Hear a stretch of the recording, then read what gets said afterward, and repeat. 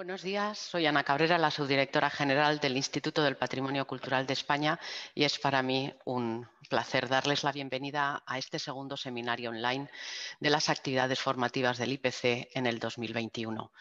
Como saben, dadas las circunstancias, eh, el IPC ha querido impulsar o seguir manteniendo sus actividades formativas, pero en formato online.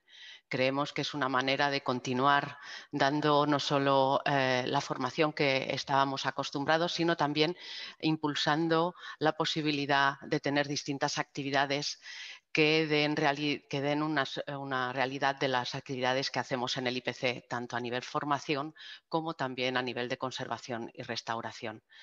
También, y antes de nada, quería disculpar la ausencia de la directora general, que como saben iba a estar con nosotros, pero por otro lado, hoy mismo se está abriendo Estampa. Es la primera vez desde hace casi dos años que se hace una feria eh, con la posibilidad de visitantes y presencial y en estos momentos está justamente en la inauguración o va a estar en breve en la inauguración de la Feria Estampa.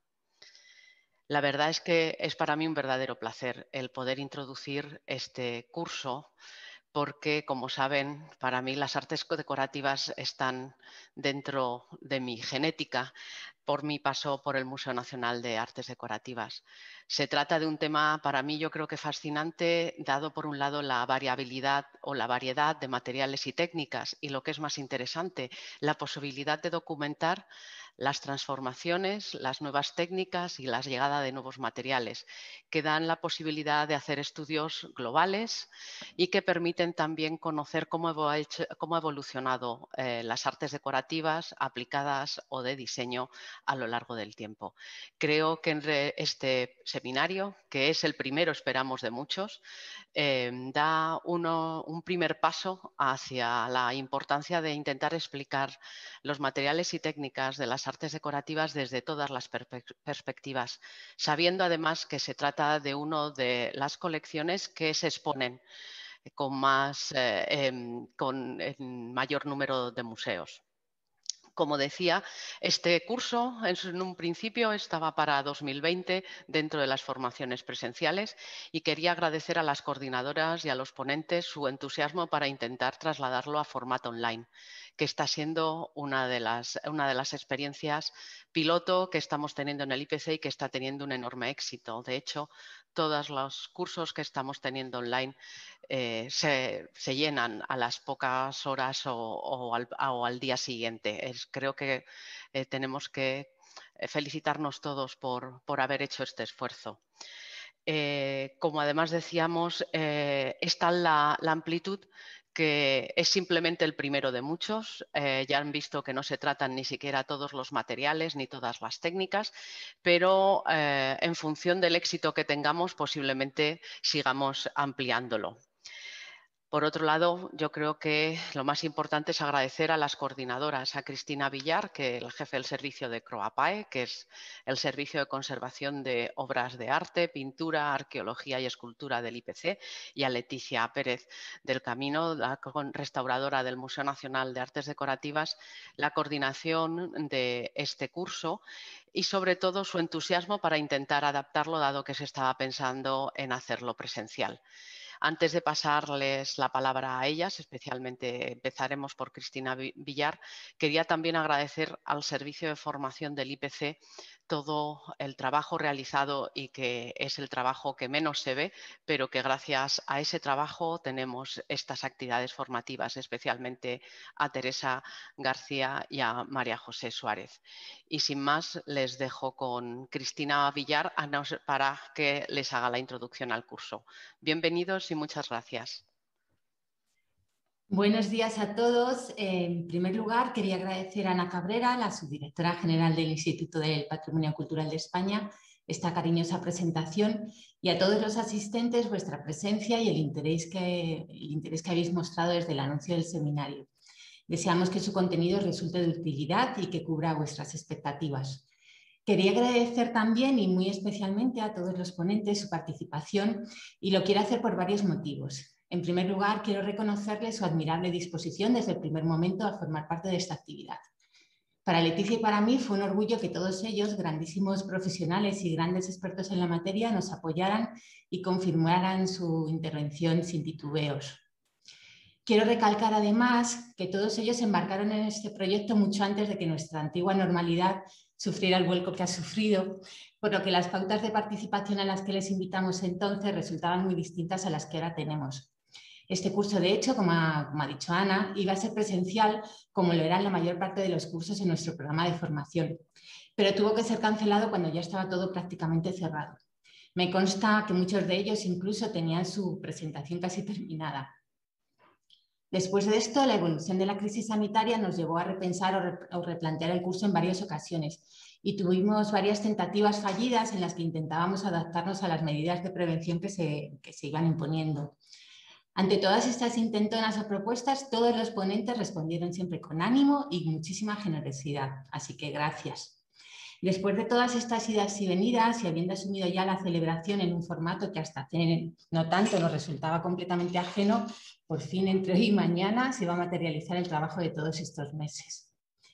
Centrándome ya en el seminario, retomando un poco lo que nos ha contado la subdirectora general, el programa presentado pretende dar a conocer trabajos sobre distintas tipologías, sobre distintos materiales, sobre piezas con casuísticas de conservación muy diferentes y con la perspectiva y el punto de vista de distintos profesionales ligados todos ellos a la conservación del patrimonio. Historiadores, conservadores restauradores y conservadores científicos fundamentalmente. Todo esto lo hacemos a sabiendas de que en realidad solo vamos a poder ofrecer una pequeñísima pincelada sobre el tema, ya que la conservación del patrimonio, la conservación de colecciones de artes decorativas y diseño ofrece un campo infinito para su estudio, difusión y divulgación. En nuestro ánimo como coordinadoras y quizás haciéndonos las cuentas de la lechera, llegamos a pensar que esto quizás sería el primer capítulo de una serie, e incluso de una serie con muchas temporadas. Eh, bromas aparte y para concluir mi presentación, quería expresaros nuevamente nuestro deseo de que el seminario resulte interesante y de que todos aprendamos y disfrutamos a partes iguales. Cedo ahora la palabra a mi amiga, compañera y co-coordinadora Leticia Pérez de Camino, que es conservadora en el Museo Nacional de Artes de artes decorativas. Muchas gracias. Buenos días a todas. Bienvenidas al seminario El reto de los inclasificables, conservación y restauración de artes decorativas y diseño. Lo primero que quiero es agradecer a las ponentes su participación y la buena acogida y disposición que han tenido desde que empezamos a organizar estas jornadas, que como ya se ha dicho, inicialmente eran presenciales y van a ser de tres días y han ido pasando por diferentes fases hasta convertirse en el seminario que comenzamos hoy. Para mí es un gran honor contar con vosotras y quiero daros las gracias por haber aceptado participar en este proyecto y por las facilidades que nos habéis dado. De igual modo, es un honor realizar este seminario dentro de la acción formativa del Instituto del Patrimonio Cultural de España. También os agradezco a las asistentes el interés que habéis mostrado desde la publicación del seminario y espero que cumpla con vuestras expectativas. Y en especial quiero dar las gracias a mis amigas por el apoyo que me han dado durante este tiempo y te agradezco, Cristina, que hayas estimado coordinar este seminario conmigo. En 2013 entré a formar parte del equipo del Museo Nacional de Artes Decorativas y trabajé, además de con Ana, con Javier y con Sofía, a las que agradezco respectivamente sus palabras y participación, con Cristina, que era mi jefa, aunque a ella no le gustaba que se lo dijera. Por entonces yo ya llevaba unos años de conservadora restauradora llenando mi maleta con experiencias y aprendizajes en diferentes andamios de pueblos de España. Pero al enfrentarme a las colecciones de artes decorativas y diseño del MENAD, que son muy extensas y heterogéneas en materiales, técnicas y procedencias, fui mucho más consciente de la limitación que tenía a la hora de conservar estos bienes culturales. Limitaciones propias de la institución, como los insuficientes recursos disponibles y la falta de un equipo interdisciplinar, ya que no contamos con un conservador restaurador especialista en cada materia, y lagunas personales por falta de conocimiento en materiales, técnicas y culturas de determinadas obras. A estas carencias hay que añadir que existe poca bibliografía especializada y no siempre sencilla de localizar. Por lo que para dar respuesta a las necesidades que he ido encontrando, me he apoyado y preguntado a amigas y compañeras de profesión para compartir experiencias y puntos de vista. De hecho, este seminario surge de esta voluntad que compartimos Cristina y yo de poner en común experiencias y poder mejorar y crecer como profesionales, aunque como ha dicho Cristina, van a ser solo unas pinceladas dentro del océano de casuísticas que nos podemos encontrar. En ese sentido, el contenido del seminario se articula en diferentes caras de la conservación, como son el entorno en el que se conserva el bien cultural, la documentación y análisis para conocer el material constitutivo y las alteraciones e intervenciones de materiales poco comunes en nuestro patrimonio. De esta manera, en estos dos días se abordarán diferentes propuestas expositivas, se darán a conocer técnicas de análisis aplicadas y se hablará de algunos materiales y sus principales causas de alteración e intervenciones. Esperamos que el seminario sea de vuestro interés y muchas gracias. Eh, ahora voy a ceder la palabra a María José Suárez, encargada del Departamento de Formación del Instituto de Patrimonio Cultural de España. Hola, buenos días a todos. Eh, no sé si se me ve en pantalla completa.